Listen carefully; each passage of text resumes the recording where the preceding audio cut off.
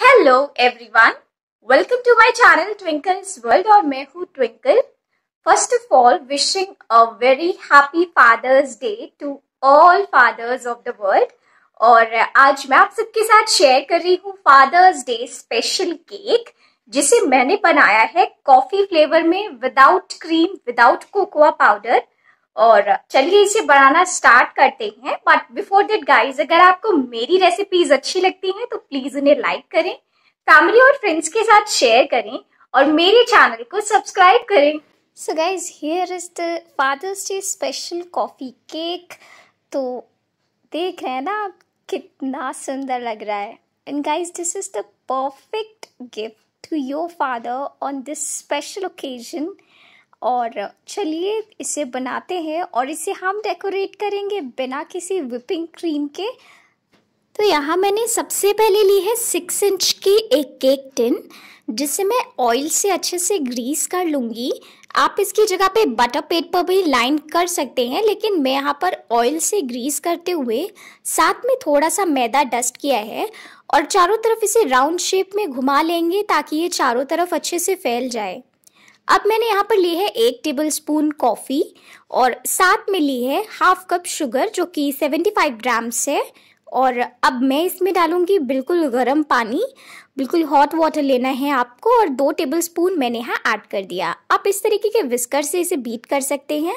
मैं electric beater का use कर रही हूँ और इसे तब तक बीट कर लूँगी जब तक ये बिल्कुल फ्लफ़ी ना हो जाए। हमें इसमें और पानी ऐड नहीं करना क्योंकि हमें इस मिक्सचर को केक के बैटर में यूज़ करना है। तो आप देख सकते हैं कितना क्रीमी और फ्लफ़ी हो गया है। तो अब मैंने इसमें डाला है चार चम्मच के करीब मिल्क और मिल्क डालने के बाद इसे अच्छे से मिक्स कर लेना है। बाकी का दूध हम जब मैदा ऐड कर लेंगे, तब ऐड करेंगे। तो मैंने ऐड किया है एक कप मैदा, साथ में एक चम्मच बेकिंग पाउडर और इसके साथ अब मैं यहाँ पर ऐड कर लूँगी बेकिंग सोडा ये मैंने ऐड किया है हाफ़ टेबल स्पून और साथ में एक पिंच सॉल्ट। सॉल्ट से केक नमकीन नहीं होगा, बल्कि टेस्ट को इन्हांस करेगा।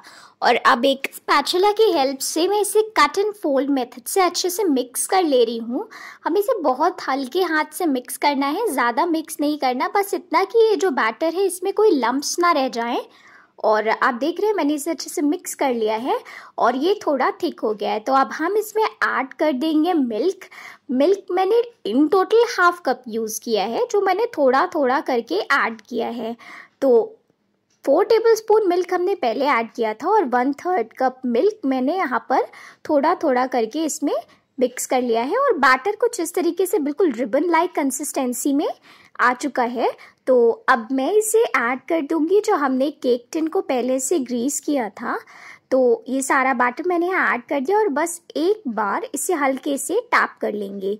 तो अब मैंने यहाँ अवन को प्री हीट कर लिया था 10 मिनट्स के लिए 200 डिग्रीज पर और इस केक को हमें बेक करना है 35 मिनट्स के लिए 180 डिग्रीज पर।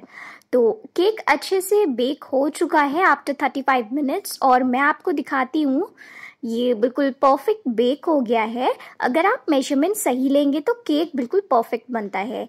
और एक नाइफ से मैं आपको चेक करके दिखाती हूँ नाइफ बिल्कुल क्लीन है। दैट मीन्स कि हमारा केक बिल्कुल परफेक्ट रेडी हुआ है और इसने साइड्स को बिल्कुल छोड़ दिया है। तो बस अब हम, मैंने यहाँ पर इसे ट्रांसफ़र कर लिया है एक प्लेट में और आप देख सकते हैं कितना स्पंजी है और बहुत ही सॉफ्ट रेडी हुआ है मेरा केक तो अब इसकी बटर क्रीम फ्रॉस्टिंग बनाने के लिए मैंने फिर से एक चम्मच कॉफ़ी जिसमें मैंने ऐड कर लिया है हाफ़ कप शुगर और अब हम इसमें टेन टेबल स्पून पानी ऐड करेंगे। हाँ दस चम्मच पानी ऐड करना है, मगर हम उसे रुक रुक कर ऐड करेंगे। और ऐसे ही इसे धीरे धीरे फ्लफी करते रहेंगे। मैंने पहले भी आपसे कहा, आप यहाँ पर हैंड विस्कर का भी यूज़ कर सकते हैं, बस उससे आपको टाइम थोड़ा सा ज़्यादा लगेगा। तो मैंने यहाँ इन टोटल टेन टेबल स्पून पानी ऐड कर लिया है और इसे ऑलमोस्ट ट्वेल्व मिनट्स तक बीट कर लिया है और ये बिल्कुल इस तरीके से फ्लफ़ी हो गया है। अब इस मिक्सचर को हम साइड में रख देंगे और मैंने यहाँ पर लिया है हंड्रेड ग्राम्स बटर बटर को मैं यहाँ पर बीट कर ले रही हूँ। और इसमें हम 75 ग्राम्स पाउडर्ड शुगर ऐड करेंगे। चीनी को मैंने यहाँ पर अच्छे से पीस लिया है और तब मैं इसमें ऐड करूँगी। तो अब मैं यहाँ पर सारा ही चीनी मैंने ऐड कर दिया है और इसे अच्छे से बीट करके फ्लफ़ी कर लूँगी। तो चीनी बिल्कुल फ्लफ़ी हो गई है। अब जो हमने मिक्सचर रेडी किया है, उसके साथ मैं यहाँ बटर वाली क्रीम जो हम बना रहे हैं, उसमें सारा ऐड कर लेंगे और थोड़ी सी क्रीम मैंने यहाँ पर बचा ली है। तो हमारी बटर क्रीम कॉफ़ी वाली बिल्कुल रेडी है और अब मैं यहाँ पर ले रही हूँ हमारा केक और इसे बीच से स्लिट कर लूँगी। तो मैंने यहाँ केक को बीच से अलग कर लिया है और बहुत ही आसानी से केक हाफ़ पीसेस में मैंने यहाँ कट कर लिया है। और आप देख सकते हैं कितनी अच्छी जालियाँ पड़ी हैं इन केक्स पर। तो बस अब मैं इस पर ऐड कर रही हूँ थोड़ा सा शुगर सिरप जिससे केक हमारा बिल्कुल मॉइस्ट बना रहेगा। अगर आपको केक को ज़्यादा दिन रखना है तो आप उस पर शुगर सिरप ज़्यादा ऐड करें। हमने जो थोड़ी सी क्रीम बचाई थी कॉफ़ी पानी के मिक्सचर वाली, उसे थोड़ा सा मैं यहाँ पर स्प्रेड कर रही हूँ। और इसके साथ अब मैं यहाँ पर ऐड कर दूँगी जो बटर क्रीम हमने बनाई है विद कॉफ़ी फ्लेवर तो यहाँ मैं उसको ऐड कर दे रही हूँ और अच्छे से स्प्रेड कर देना है। बहुत थिक लेयर नहीं लगानी। एक पतली सी लेयर हमें लगानी है। तो मैंने यहाँ पर उस लेयर को ऐड कर लिया है और इसे थोड़ा सा साइड पे भी लगाकर अब ये जो सेकेंड लेयर है इसकी मैं इस पर रख दूँगी। हमने यहाँ पर इसका क्रस्ट नहीं हटाया क्योंकि क्रस्ट ऑलरेडी बहुत सॉफ्ट है। तो बस ये इसी तरीके से मैं इस पर ऐड कर लूँगी जो हमने बटर क्रीम बनाई है। और इसकी अपर लेयर पर भी इस तरीके से मैंने यहाँ पर क्रीम ऐड कर ली और इसे बटर नाइफ की हेल्प से मैं ऐसे ही स्प्रेड कर रही हूँ। मैंने यहाँ कोई केक प्लाटर का यूज़ नहीं किया, ना ही कोई टर्न टेबल यूज़ की है और इसे ऐसे ही अच्छे से स्प्रेड कर लिया है। इसके साइड पर भी ऐसे ही हम इस बटर क्रीम को स्प्रेड कर लेंगे और जब हम सारी बटर क्रीम स्प्रेड कर लेंगे, उसके बाद प्लेट के साइड्स को क्लीन कर देंगे और क्रीम को बिल्कुल इवन कर लेंगे। तो मैंने यहाँ इसे बिल्कुल इवन कर लिया है। और अगर आपको कहीं पर भी क्रैक्स दिख रहे हैं तो इसी तरीके से सेट कर लें और इसे 15 मिनट्स के लिए फ्रिज में सेट होने के लिए रख दें।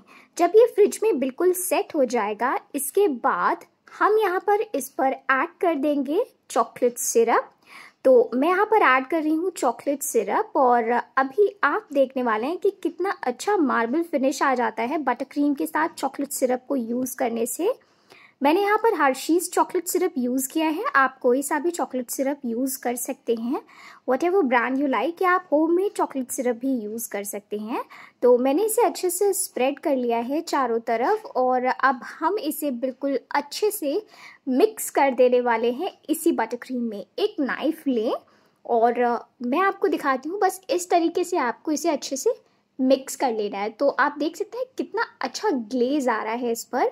और इस तरीके से कर लेने के बाद आप इसे वापस से 10 मिनट के लिए फ्रिज में रख दें और ये बटर क्रीम पर बिल्कुल सेट हो जाएगी। और अब मैं इसकी साइड्स पर एक स्टार टिप से इस तरीके की डिज़ाइन को फॉर्म कर लूँगी। तो मैंने यहाँ डिज़ाइन फॉर्म कर ली है इसकी साइड्स पर। अब हम आ जाते हैं केक की साइड्स के बाद, केक के टॉप पर।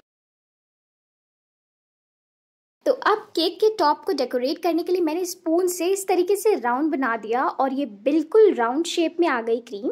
मैं वैसे ही यहाँ पर स्टार टिप नोजल से ही इस तरीके की डिज़ाइन बना ले रही हूँ। आप अपनी मनचाही डिज़ाइन बना सकते हैं, मगर मुझे ये डिज़ाइन पर्सनली बहुत पसंद है, इसलिए मैंने इसके साइड्स को बिल्कुल ऐसे ही डेकोरेट कर लिया है।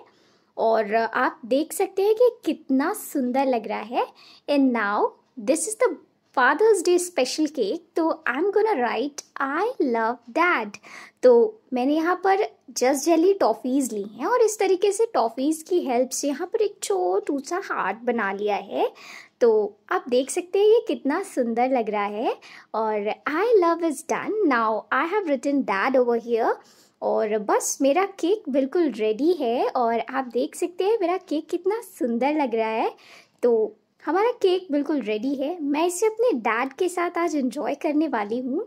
आप भी अपने लव्ड वंस को ऐसा ही केक बनाकर उनके साथ एंजॉय कर सकते हैं।